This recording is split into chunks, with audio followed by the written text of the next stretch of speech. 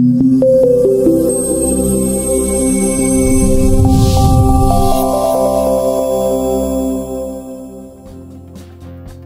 நடிகையிடம் அத்துமீறிய கல்லூரி மாணவர்.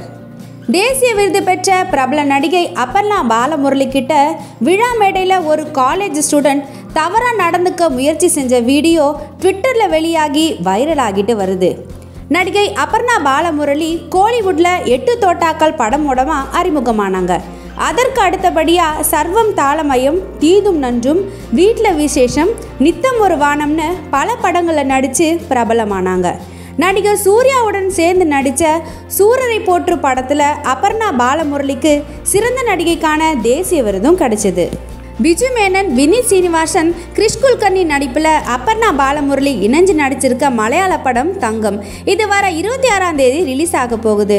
இந்த படத்தோட ப்ரமோஷன் கேரளாவில் இருக்கிற சட்ட கல்லூரியில் நடந்துச்சு.